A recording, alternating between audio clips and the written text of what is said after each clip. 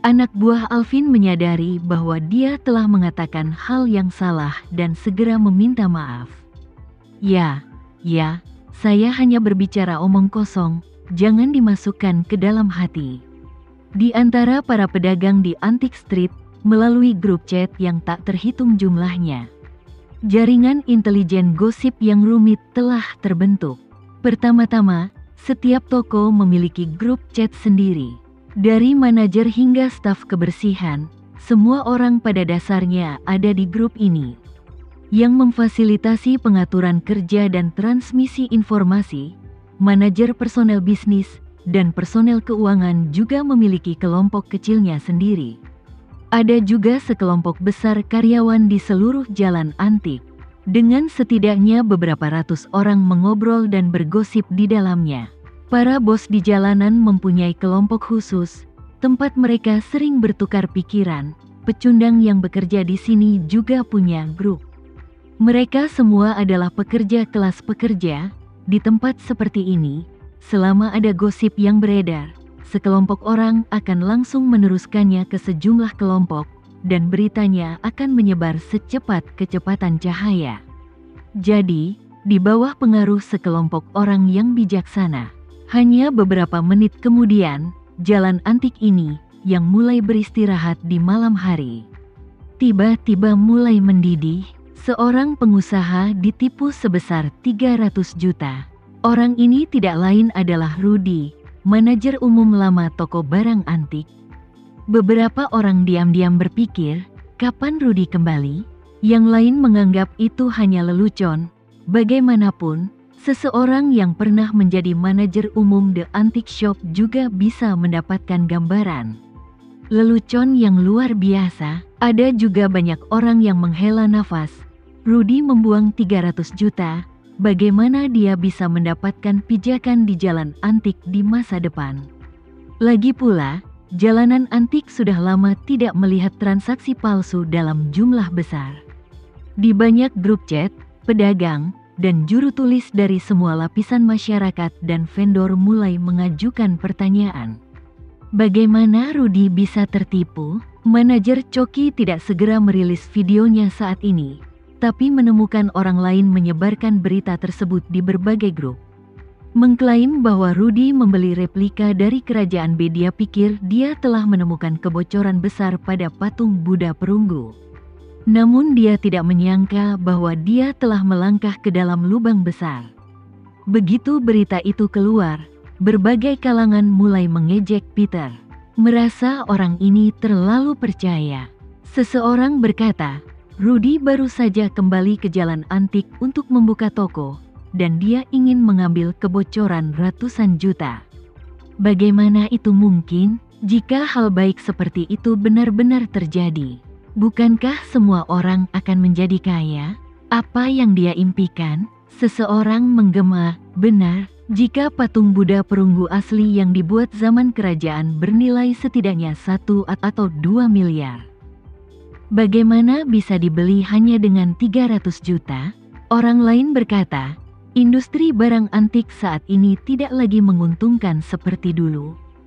Seseorang langsung berkata, ya, itu benar, di era dulu, hanya ada sedikit informasi dan materi. Masyarakat biasa mengambil kebaikan yang diwariskan nenek moyang mereka tanpa menyadarinya. Kolektor barang antik hanya perlu membawa sejumlah uang tunai dan kupon makanan dan berjalan-jalan. Dan mereka bisa menghasilkan uang dengan kekayaan yang besar. Kita bisa mendapatkan porselen tempat pembakaran resmi dari kerajaan dengan harga murah dan bahkan porselen biru dan putih berkualitas tinggi dari kerajaan. Aku tidak melebih-lebihkan ketika aku mengatakan bahwa di desa-desa sekitar ibu kota, piring yang digunakan oleh wanita tua untuk memberi makan anjing mereka bahkan memiliki banyak bunga di atasnya. Jika kau menukarnya dengan panci aluminium besar bersamanya saat itu, dia pasti akan mengambil panci itu. Kamu hanya perlu melarikan diri, karena takut dia akan menyesalinya. Dan barang yang kamu tukarkan dengan panci aluminium besar mungkin akan terjual seharga 100 juta di lelang hari ini. Sayang sekali, aku tidak dilahirkan di zaman itu. Aku akan menghasilkan banyak uang dan segera membuka museum. Manajer Coki mengirim pesan suara saat ini, bergema. Ya, kau benar. Industri barang antik kita tidak seperti 20 atau 30 tahun yang lalu. Kita sudah memasuki era informasi. Di era informasi, siapa pun dapat mengetahui beberapa informasi yang relevan. Bagaimana kau bisa menjual barang bagus dengan harga murah? Manajer Rudy terlalu ceroboh dan tidak seharusnya melakukannya. Dia berkata, "Dalam masyarakat saat ini, aku telah melihat semuanya." Setiap orang mempunyai impian untuk menjadi kaya secara tiba-tiba. Ketika memikirkan apa ada pusaka yang terkubur di rumah orang lain dan berpikir untuk membelinya dengan harga murah, kau sebenarnya telah melihat begitu banyak perbuatan orang lain yang menjadi kaya dengan cepat. Kuburan nenek moyangku telah digali delapan kali, menggali tiga kaki ke dalam tanah untuk menemukan harta karun. Dalam hal ini, jangan bilang ingin membeli barang bagusnya dengan harga murah, dia juga ingin membeli barang bagus orang lain dengan harga murah. Bukankah semuanya dijual kepada orang-orang bodoh yang bermimpi ini? Banyak orang langsung memujinya. Manajer Coki harus menjadi orang yang benar-benar mengerti. Sepertinya Linda Suteja adalah pilihan yang tepat untuk menyingkirkan Rudy dan membiarkan manajer Coki mengambil alih toko barang antik. Level manajer Coki jauh lebih tinggi daripada Rudy. Manajer Coki segera menjadi tertarik ketika dia melihat semua orang memujinya dan berkata sambil tersenyum. Kamu sangat menyanjungku. Aku juga ingin berbagi sedikit pendapat pribadi denganmu. Faktanya, siapa pun yang mengetahui sedikit tentang industri kita akan mengetahuinya setelah memasuki era informasi. Berpikir untuk membeli barang bagus dengan harga murah sudah menjadi hal yang lumrah dan tidak terlalu sulit. Jadi sekarang banyak orang dengan motif tersembunyi mulai berubah pikiran. Karena aku tidak dapat mengetahui kebocoran orang lain, aku hanya akan membuat beberapa kebocoran untuk diketahui orang lain. Seseorang segera menggema, oh, manajer Coki benar. Jarang ada orang bodoh seperti ini. Aku bertemu orang bodoh minggu lalu. Batu giok yang saya beli di toko saya seharga 1,8 juta dijual kepadanya dengan harga 4 juta. Dia pikir itu terlalu mahal, jadi dia berbalik dan menghabiskan 20 juta untuk membeli sepotong marmer. Barang bodoh itu harganya tidak lebih dari 200 ribu termasuk ongkos kirim. Orang lain berkata, Manajer Coki, tolong bicara lebih banyak dengan kami dan beri kami lebih banyak nasihat. Mari kita belajar lebih banyak, waspada dan bersiap. Manajer Coki berkata sambil tersenyum, semuanya, di lingkungan umum saat ini. Industri barang antik telah menjadi setransparan mobil bekas di kalangan atas. Jika kamu menipu penjual saat kamu mengambil mobilnya, kamu hanya dapat menipu penjual saat kamu menjual mobilnya. Dealer mobil bekas dapat menjual Rolls-Royce yang basah kuyup dengan harga mobil yang mendekati harga baru. Tapi dia tidak bisa menggunakan Rolls-Royce yang basah kuyup yang setara dengan Rolls-Royce yang hampir baru. Oleh karena itu, ketika kita membuka toko di jalan barang antik, pertama-tama kita harus memiliki kesadaran bahwa toko tersebut sulit untuk dilewatkan di seluruh industri barang antik.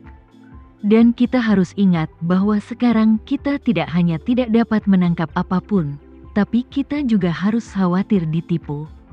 Selalu ada orang yang ingin mengemas mobil kecelakaan, mobil kebanjiran, mobil dengan penyesuaian meteran, dan mobil dengan cincin jiwa yang menempel pada orang mati. Dan menjualnya ke dealer mobil. Selalu ada juga orang yang ingin mengubah citra semua jenis barang palsu dan menjualnya kepada kami. Rudy telah memikirkan mereka sejak dia datang ke sini. Jika kami mengerjakan proyek dengan margin keuntungan 500%, akan aneh jika kamu tidak ditipu sampai mati. Semua orang memberinya acungan jempol di grup dan memujinya. Melihat waktunya hampir tiba, manajer Coki dengan cepat berkata di grup.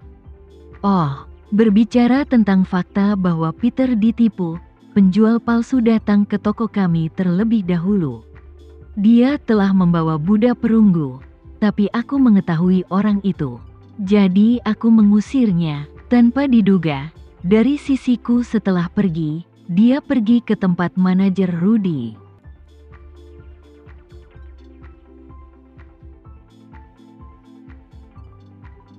Sekian dulu ya video kali ini, kita lanjutkan lagi videonya di lain waktu. Oh iya, bagaimana menurut kalian? Semoga bisa sedikit menghibur kalian semua. Untuk teman-teman yang baru nonton jangan lupa subscribe ya hehehe. Dan kalau teman-teman ada yang ingin gabung langganan bisa langsung gabung saja untuk dapat fitur yang menarik dan sedikit membantu Mimin. Terima kasih banyak sudah menonton sampai jumpa lagi bye bye bye.